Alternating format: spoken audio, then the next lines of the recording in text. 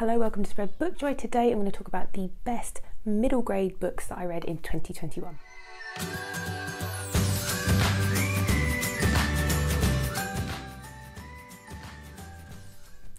If you're new to the channel, I'm Jack, and if you're not new, welcome back to Spread Book Joy. And as some of you may or may not know, I'm a qualified primary school teacher, and I love to share great books for children for home or school, and that's the reason I started this entire channel.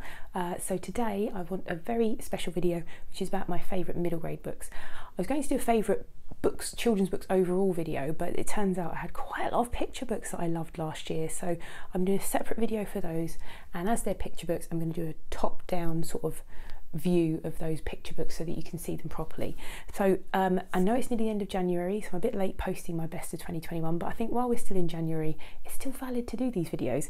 So I'm going to go through them in the order I read them in. So they're not in the order that I uh, sort of like a top five. They're not in any particular order because of, um, you know, ranking order. They're just in the order that I read them in. And um, I read quite a lot of middle grade and YA last year, um, not enough towards the end of the year, and I haven't read any new YA or middle grade this year so far, but my booktube spin number five has thrown up. Um, I did a middle grade um, list for booktube spin number five, uh, filmed a video for it, and then discovered my camera had run out of battery, so that's not going out. But the uh, book that I got for it was uh, The Last Bear by um, Hannah Gold, which is absolutely beautiful and a book that I've been meaning to read for a long time. So that's my uh, probably my first brand new, um, new to me anyway, middle grade book for 2022. Apologies for the lighting as well because unfortunately um, I've had to put lights on. It's afternoon and in the UK in the winter and of course it's really dark. So hopefully we'll see everything okay. So first up, this was actually one of the first books that I finished in 2021. I finished this really early in 2021, and it's The Midnight Guardians by Ross Montgomery. And it's a story of a boy called Cole, and it's set during the Second World War, during the Blitz. He's been evacuated from London and he wants to rescue his sister uh, because um, there's an element of fantasy in this as well in British folklore. Cole's imaginary friends have come to life and they've decided to come and help him uh, because something terrible is going to happen in London and he has to journey across the countryside to London to rescue his sister. I'm not going to say any more about it because I'm pretty sure I've done a video on it and if I haven't it's in one of my wrap ups and so I'll leave a link to that video down below. Next, one of my favourite favourite books this year and I loved it for a number of reasons was Amari and the Night Brothers by B.B. Alston.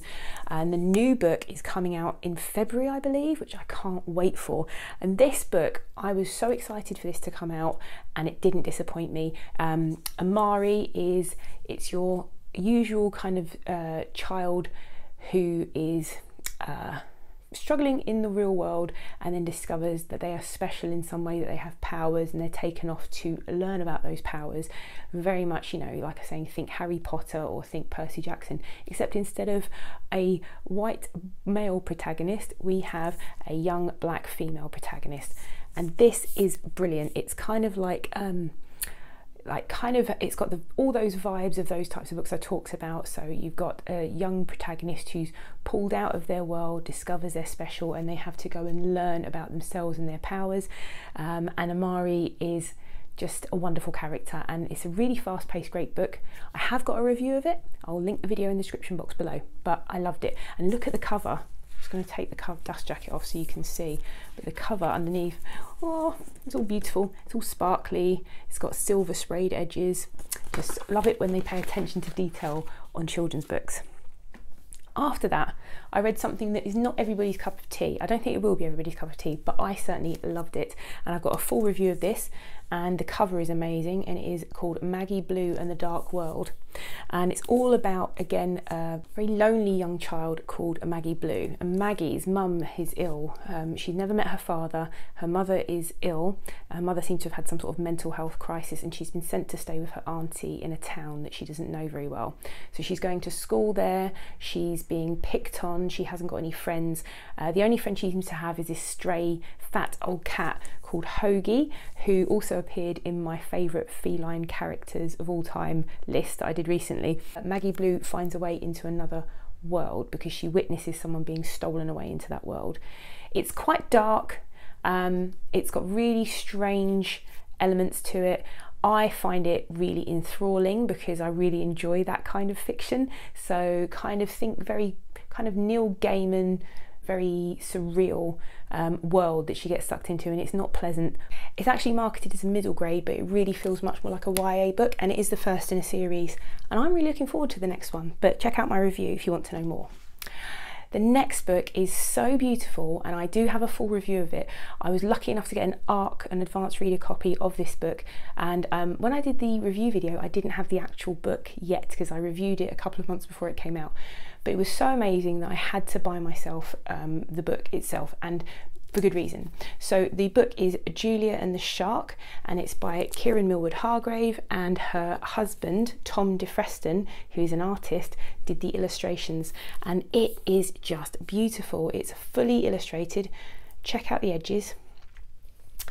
Um, it's absolutely stunning and it's full of amazing, uh, beautifully produced book. It's full of amazing pictures. I'm just going to hold it up so you can see uh, some of the artwork inside and it's just stunning. So the story is all about a girl called Julia, and Julia is on not holiday as such. Her parents are on a working holiday in Scotland trying to restore a lighthouse. Her father is trying to restore the lighthouse, and her mother is a marine biologist. I got a signed edition. I pre-ordered it, and um, it's just beautiful. I mean, the um, story itself is a tale of um, mental health, friendship, and hope. Ultimately, it's a tale of hope. Um, I've got a full review on the book and I'll link that in the description box below.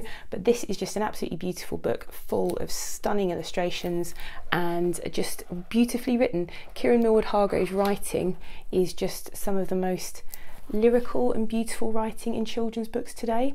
So I'd really recommend this one. Last, but definitely not least, I read uh, The Haunting of Aveline Jones and I absolutely loved this. I read this at the turn of the seasons in autumn, and I got this for my birthday from a lovely Instagram friend at Reading Rebecca who sent this to me, and I'm forever grateful because it is short but sweet and it's a proper ghost story. I've got a full review of it, uh, which I'll link in the description box below. But um, there is a second book out which I read, The Bewitching of Aveline Jones. Haven't done a review of yet, but I will, and I absolutely loved this. It's spooky and atmospheric, and it's a proper ghost story. Um, Aveline goes on holiday again, another child who's sent away to stay with an auntie. She stays in a small Cornish town, and Aveline is an avid reader, and she goes to um, a local bookshop and picks up a book of ghost stories and um, then spooky things start to happen to her. So it's really, really great, very atmospheric, and I just loved it. So, have you read any of those books? If you're interested in any of those, I'll link any uh, further videos I've got for them in the description box below. And hopefully, if you've never been here before and you like this, you'll consider making a comment, clicking like, even subscribing perhaps. And hopefully, I'll see you again here soon.